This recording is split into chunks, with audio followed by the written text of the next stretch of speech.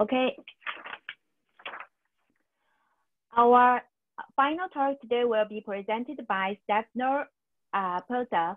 Stefano is an assistant professor at Charles University. His topic today is a Lanczos-like method for the time-ordered exponential. Thank you. Thank you. Thank you, uh, the organizer, for the really nice job they are doing. And can you hear me, right? Yes. Yes? Perfect. Okay. So what I'm going to present um, today is a joint work with Pierre-Louis Giscard, and it is about, as you can see, the approximation of uh, the so-called time order exponential. So here uh, I will start giving you the definition of what I mean with time order exponential. So uh, it's not so complicated in the sense that we have this uh, linear differential equation where our A here is a time-dependent square matrix, okay, depending on a time t prime. And uh, U is the solution, and here the notation is a bit confusing, but uh, it's going to be important later, so this is why I'm writing this in this way. T, T prime is our variable, and T is the initial time, okay? So this is just a differential equation. We have the derivative in T prime here, and then we set U of T, so you can image T equal to zero, for example, equal to the identity. So this is our uh, problem, and we want to give an expression for u that is known as time order exponential. So for example, in the nice case in which the matrix A is commuting with itself for uh, all the times in some in our interval i, uh, this u has a nice expression that can be written in this way. And here you see we have this matrix exponential of the integral of the matrix A. So, uh, and then we can use different kind of, of techniques to approximate something like that. But in general, we don't have an explicit form. And this is the problem we are uh, going to deal with. So uh, what we know is that, uh, for example, you can express it by the Dyson, uh, how, how Dyson did it in 1948, by the time ordering operator. And this is given the name of this time ordered exponential. But this timing ordering expression is not, uh, is more a notation in the sense that it's very difficult to evaluate. So this is the problem. Uh, applications, as you can guess, are everywhere, in particular we are interested in uh, quantum physics, but also they can emerge from differential Riccati matrix equations, for example. And uh, method to get an expression for the problem, uh, so perturbative methods, for example, are uh, usually, um, you can use Floquet-based or Magnus-series techniques.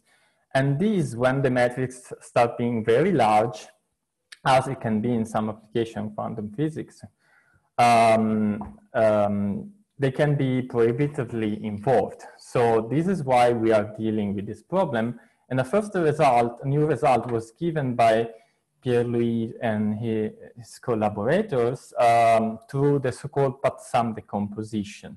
But also this decomposition that is based on some graph theory can be, has a complexity that is too large for real world, some of real world applications. So this is the problem we are dealing with. And what we are going to do and uh, present in this uh, today is the, how to solve this complexity problem of the path sum approach by using some model reduction technique. And this model reduction is done by what we will call Star-Lanczos algorithm. So uh, just two warnings. So what I'm going to present is a method that works on a space of generalized functions, so distributions. So I'm not going to talk about a numerical method. Uh, and the reason is that before going towards the numerical methods, we need to develop these expression. And the reason I think it's nice and important to talk about that in, in this, in, into a numerical linear algebra audience is because there is a really nice connection with fundamental tools of numerical linear algebra that can be just transferred in this more complicated framework, but they work very similarly and are, are, uh, they have, uh, in my opinion, a great potential in this sense. So, and the second warning is that since we are using Lanczos, as may, I think many knows, uh, then of course taking into account actually approximation and loss of orthogonality and finite precision is important. But we are not going to do it today. Also, there's not enough time to talk about that. So let's uh, introduce what is the general strategy uh, we are going to use. So the point for us is instead of working with a uh, something that is just depending on one time, we are actually uh, using two times. So now maybe you can see why I was defining uh, u as something depending on two times. And you can see t prime must be larger than t. So you can always interpret this second time as the starting time of your, um, of uh, the time of your initial condition. So if A1 and A2 are two square matrices, then we can define this convolution line product that we call star product here uh, in this fashion. And you see we have an integration in tau and tau first is in the second position and then in the first one. And as a result, you end up, and here you, you have two matrices. So this is the usual matrix matrix product.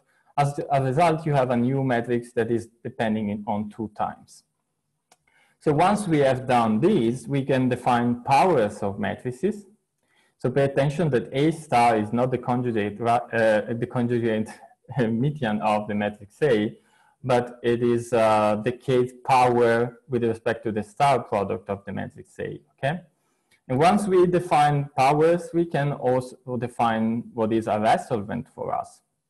So we define this star resolvent of A in this way, and you can easily prove that uh, this uh, is convergent as, as uh, when A is bounded for all the times in the interval I. So this star resolvent is important because as it was proved by Giscard et al., um, U, our time order exponential, can be written using this star resolvent eh, by this formula. Here, if you want to know the identity is the Dirac delta function, but here we will have to give a larger discussion. So I'm skipping this, this for, for this talk. So what is the, so what we want to do now is approximate the star resolvent instead of U, but to do that is not easy. And actually, uh, the PathSum uh, method can do that by some complicated graph decomposition. Basically, the idea is that if you look at, at the sparsity pattern of the matrix A and with the associated graph, thinking about A as the adjacency, adjacency matrix, then you can express the ij elements of the resolvent as some uh, combination of continued fractions. So here the complicated point uh, is that if the sparsity pattern of the matrix is uh, complex, then the method is going to be too much uh, demanding to actually give a nice solution. So our goal is to transform the matrix A into a matrix with a really simple structure so that then we can use this path sum formulation. And the idea we are following is actually to take a, the easiest matrix we could find in this sense that is T as a three diagonal matrix so that then we get a really straightforward formulation for its resolvent. And then we want another, of course, property, and that is that the ij element of the star resolvent of A must be equal to, let's say, the first element of the star resolvent of T. But this can be rewritten just using the definition of star resolvent uh, in this way. So we have these uh, star powers of the two matrices must be uh, the same in, in these elements, and these are known, we define them as star moments. So this is what we want to build. And if you are familiar with some similar problem, moment problem, you uh, probably uh, would have, uh, noticed that uh, in the case in which A is time independent, so in the classical case, this can be done using Lanczos algorithm. So what we are going to do is using this analogy to solve this problem uh, with respect to the star product. And we will define a Lanczos-like method that is based on a star orthogonalization process. So I will recall uh, the classical case, so the simple one. It's not simple, but it's simpler than the one we are dealing with. And, and so how you can use the non-Hermitian Lanczos algorithm to uh, approximate an expression like this, where we have the exponent, matrix exponential of the matrix A and two uh, vectors. So here I'm just uh, running away from the time-dependent problem and just want to approximate a time-independent problem like this. And what you can do, for example, is to build two Krylov spaces and then define in this way, and then use the non-Hermitian Lanczos to compute two bases for these uh, spaces so that they are the orthonormal, so VNH uh, trans, uh, the conjugate transpose of Wn times uh, Vn is equal to the identity. And once you have done it, if you define a matrix Dn that is the projection of the original matrix onto the Krylov spaces, then you can show that Tn is tridiagonal. So first property we really want to have, and then has the matching moment property, which means that you can see is really what we want to do, uh, that these powers are the same up to n minus one, and actually they are the same um, when n is equal the uh, to the size of uh, a. So you have exactness for all k. So then this justifies the approximation of uh, the exponential array by the exponential of t. And, uh, and, and this is really what we will like to do in our uh, more complicated framework. So let's try to do that. So we are back to our initial problem. We have a time-dependent matrix A. We can formulate the time of the exponential u uh, uh, by the star resolvent and we are interested in computing the ij element of this U. So now this problem can be generally written in this way where you have a vector, time independent vector v, W and V um, that are multiplied and here the multiplication is the common uh, matrix uh, vector multiplication and you want to approximate this object. So we will do, we do the same. We need to define uh, what are the time-dependent Krylov spaces for us. And to do that, we need, need to define the concept of matrix star polynomial and its dual. So basically, we have already seen that we can define um, star powers of the matrix A. So uh, to define a polynomial, basically, we have to just to introduce some uh, multiplication, star multiplication by some, some coefficients. And for us, coefficients will be distribution depending on two times t prime t, so some scalar distribution.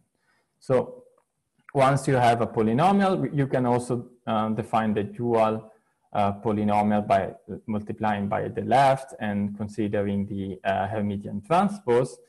And, and, with this definition, it's pretty easy to define what is a Krylov space because then you just assume uh, the degree of the polynomial to be uh, smaller than n minus 1. So uh, we are not, we don't have enough time to see how to build the star Lanczos process. So I will just uh, show you what are the properties that you can do that and what are the properties and the outputs of this process. So basically through this trans star process to this star method, you can build uh, if everything, if you don't have breakdown, we talk about it in a few minutes, um, you can build two bases for the, the two uh, time-dependent Krylosov spaces I have just introduced in the previous slides, slides, and, um, and so that they are star B orthonormal. So the star product between these two vectors must be equal to the identity. And here again, the identity is the identity matrix time uh, the Dirac delta function. And um, you can do that. And uh, as, as, I said, we don't have time to um, discuss how to build that. But, um, but uh, if you uh, start doing the star orthogonalization process in the same, same uh, same way as you would do with the in, the in the non-Hermitian Lanczos algorithm. When you build the non-Hermitian Lanczos algorithm, you end up with a couple of three terms recurrences. So you see, you can build a new W vector using the two previous one and two coefficients alpha and beta, and the same for Vn with the beta n and alpha n minus one coefficient. Here, we have Vn star b, beta n. It means that to uh, compute Vn, we need to divide in the sense we need to multiply by the inverse of beta n, the star inverse of beta n. And here is where much of the difficulties are hidden in this, uh, in this problem. And, and again, we have left us uh, less than five minutes. So uh, we did, uh, uh, we derived a lot of results about the inverse of this beta. And, and in general, we proved that if you're starting with smooth functions on the interval, you won't have problems in, um, mostly you won't have problems. No, no more than you would have with the usual non-Hermitian Lanczos. So um, for the sake of simplicity, here we just assume that it is possible to inverse, uh, to invert, star invert beta n, and that so we have no breakdown in, in the algorithm and we can go on with iterations. So at the end of the process, we can build a three-diagonal matrix just uh, made of the coefficients we compute at each iteration.